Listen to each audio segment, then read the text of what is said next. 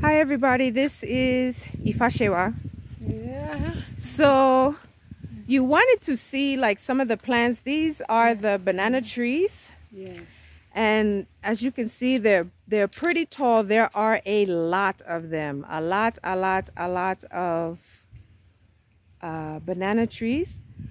And Mama Anna say they grow all year round.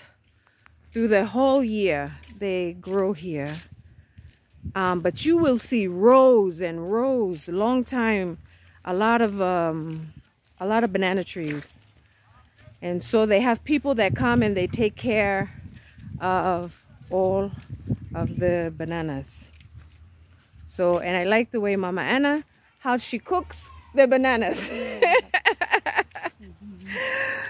so, I just wanted everybody to be able to see how many banana, I mean, it's just everywhere, everywhere. Mm-hmm. Okay, I will talk to everybody later. Peace.